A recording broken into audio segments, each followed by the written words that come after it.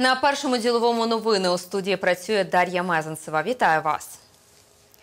У Конституційному суді сьогодні розглядається справа про відповідність Конституції законодавчим нормам. 74 депутати Верховної Ради оскаржують положення законів про Нацбанк, систему гарантування вкладів фізосіб та цивільний процесуальний кодекс. Суть справи полягає у забороні судам припиняти будь-які рішення НБУ та фонду гарантування вкладів. Крім того, в поданні піддають сумніву з конституційність заборони судам припинити рішення Нацкомісії з регулювання в сфері енергетики, зокрема щодо встановлення державних регульованих тарифів на електроенергію і природний газ, а також методик їхнього розрахунку. Замість семи у минулому році 54 в 2020-му. Стільки іноземних компаній зберігають газ в українських сховищах. Яка причина такого збільшення користування українським майданчиком для зберігання газу, знають мої колеги.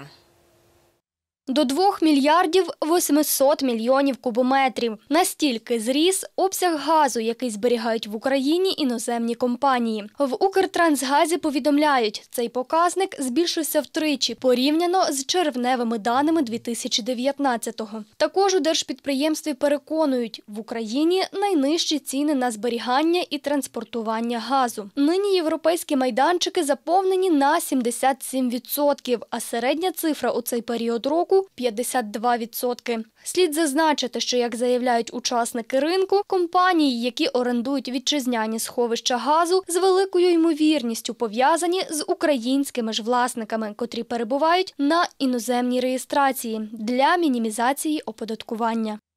Ще 4,5 мільярди гривень. Держприкордонна служба просить в уряду додаткові кошти на проєкт «Стіна» на українсько-російському кордоні. Кажуть, кошторис збільшили через подорожчання будматеріалів і оплати праці будівельників. Крім додаткових грошей, змінюється і дата завершення будівництва проєкту. Спершу проєкт мали завершити у 2021-му. Тепер Держприкордонна служба, що входить до структури МВС, хоче продовжити терміни до 2025-го. Зазначу, перші 40% стіни збудували всього за 1 мільярд і 700 мільйонів гривень. Це означає, що умовно вартість 1% проєкту 42,5 мільйони. Після отримання додаткових коштів за нього прийдеться заплатити вже 75 мільйонів. В той же час в суспільстві прохання збільшити бюджет будівництва розцінюють як проєкт розкрадання бюджетних коштів. Наразі рішення про дофінансування в уряді ще не прийняли. Майже вдвічі зменшився пасажиро та вантажопотік за перші п'ять місяців року. Причина швидкий та масштабний карантин. Більше знають наші журналісти.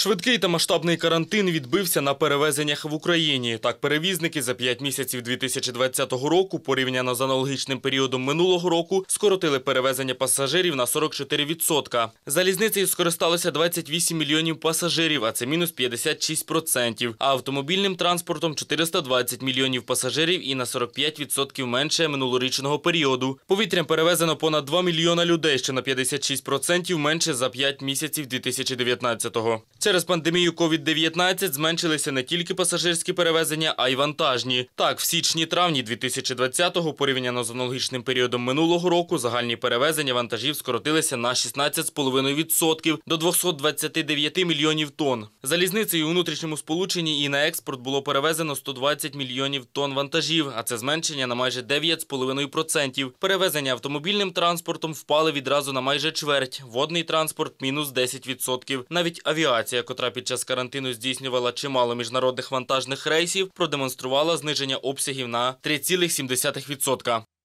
Шевченківський районний суд Києва оголосив вирок у справі лідера добровольчого руху ОУН Миколи Коханівського у справі про погром російських банків у 2016-му.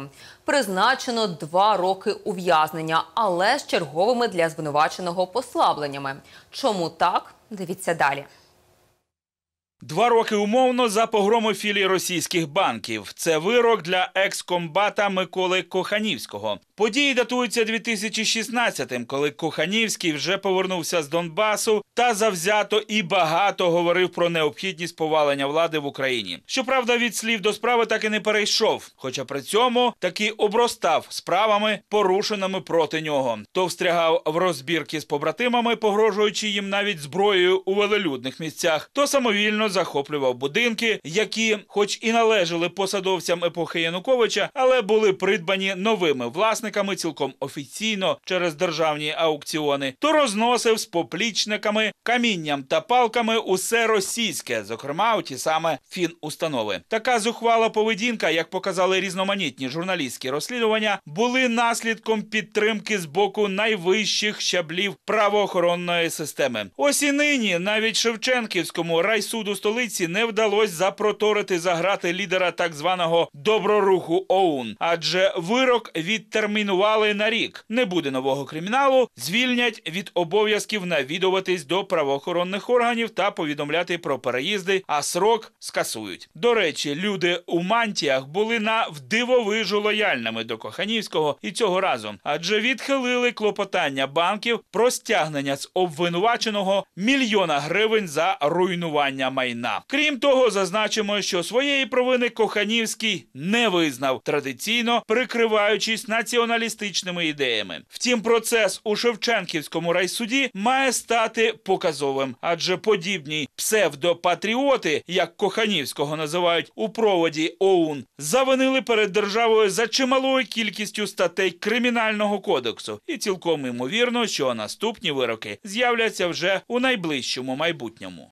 Те, про що говорили від самого початку планування так званого мосту Кличка, врешті сталося.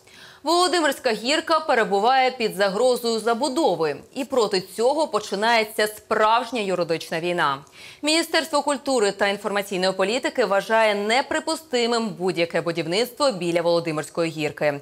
Свого дозволу на це не даватиме і розгляне всі можливості, щоб забудова там не з'явилась. Як відомо, наприкінці травня шостий апеляційний адміністративний суд зобов'язав КМДА надати ТОВ «Етрекс» містобудівні умови. Мова йде про проєктування готельного і розважального комплексу на Володимирському узвозі 6. А це територія, що відноситься до пам'ятника ландшафту. І будівництво там заборонено законодавством. До речі, журналісти першого ділового про ці порушення говорили на початкових стадіях будівництва півтора року тому. Під завалами постраждалого від вибуху будинку на Позняках рятувальники виявили тіло ще одного загиблого. Про таке повідомив мер Києва Віталій Кличко в своєму телеграм-каналі. Розбір завалів триває. Невідомою залишається доля ще одного жителя цього будинку. Подробиці у наступному матеріалі.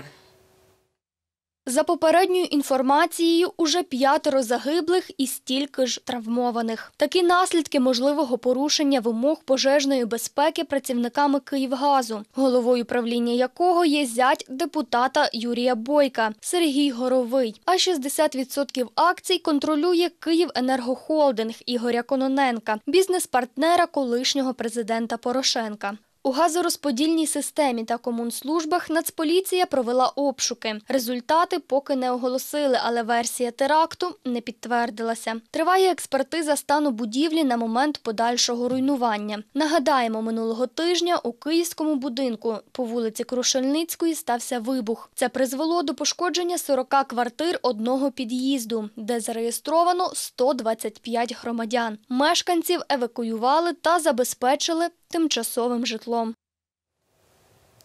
Шквали, сильні зливи та грози. Синоптики попереджають про грозову погоду у Києві вже за годину другу. За даними гідрометцентру, в день температура у столиці сягне 25-27 градусів. Рятувальники рекомендують щільно закрити вікна, прибрати з балконів речі, які можуть впасти. На вулиці рекомендують якнайдалі триматися від білбордів, ліній електропередач та дерев. Про те, як перевірятимуть бізнес на дотримання протиепідемічних норм, підвищення цін на газ для промислових споживачів, нові інвестиції компанії Тесла. Далі дізнаєтеся найважливіші новини компанії та ринків в огляді. Вітчизняний бізнес перевірять на дотримання протиепідемічних норм. Кажуть, через пом'якшення карантинних заходів почастішали випадки нехтування правилами безпеки. Від понеділка почали перевіряти на наявність засобів індивідуального захисту та дотримання дистанцій між відвідувачами. До кінця тижня оглянули майже 10 тисяч закладів, адже кожного дня кількість заражених COVID-19 в Україні зростає, і однією з причин влада називає недотримання закладами протиепідемічних правил. Тож від 22 червня карантинні заходи знову посилили. Нафтогаз підвищить ціну на газ для промислових споживачів майже на 10%. Отже, з 1 липня ціну на газ підвищать до 3500-700 гривень. Така ціна діятиме для промислових споживачів за умови попередньої оплати за період при використанні газу від 50 тисяч кубічних метрів та за відсутності заборгованості перед Нафтогазом. Новий завод і мільярд доларів інвестицій. Такі плани виношує керівництво компанії Тесла. Про це повідомила агенція Reuters із посиланням на керівництво. За попередніми даними, підприємство розташовується в окрузі Тревіс, що у Техасі. Будівництво запустять вже цього літа. Щойно завершаться всі формальні процедури. У проект Тесла вкладе мільярд доларів і створить 5 тисяч нових робочих місць. Взаєм від влади вимагає серйозних поступок, приміром податкових пільг. Поки що в Тесла є один автомобільний завод у Френпонті в Каліфорнії. Ще два планують відкрити у східній півкулі, в китайському Шанхаї та німецькому Грюнхайде, неподалік Берліна. Співпраця завершується. BMW і Mercedes-Benz оголосили про припинення спільної розробки безпілотних автомобілів. Відповідне рішення керівництва обох концернів ухвалили після ретельного аналізу. Каменем спотиканням стали експертні обговорення, до яких сторони не змогли конструктивно підійти, та технологічні дорожні карти, про які мали домовитися із постачальниками. Витрати на даному етапі, кажуть експерти, виявилися вищими за ймовірні вигоди від співпраці. Разом із цим наголошують, у майбутньому цей напрямок можуть відновити. Ціни на нафту сьогодні зранку знижуються. Це відбувається в рамках корекції після активного зростання в попередній торгувальний день. Більше знають аналітики першого ділового. Ціни на нафту еталонних марок знижуються в ході торгів у вівторок після впевненого підйому напередодні. Вартість серпневих ф'ючерсів на нафту Brent на лондонській біржі ICE Futures станом на ранок становить 43 долари 3 центи за барель, що на 12% нижче ціни на закриття попередньої сесії. За підсумками торгів у понеділок ці контракти подорожчали на 2,11%. Ф'ючерси на нафту WTI на серпень на електронних торгах Нью-Йоркської товарної біржі знизилися в ціні на 34% до 40 доларів 59 центів за барель. У понеділок вартість цих контрактів збільшилась на 2,3%. Тиск на ринок чинили несподівані заяви торгового радника Білого Дому Пітера Наваро, який сказав в ефірі Fox News, що президент Сполучених Штатів Дональд Трамп вирішив припинити торговельну угоду з Китаєм, оскільки співробітники розвідки все більше впевнені у тому, що пандемія коронавіруса виникла в Уханській лабораторії. Між тим, пізніше Трамп спростував інформацію про розірвання торгової угоди з КНР.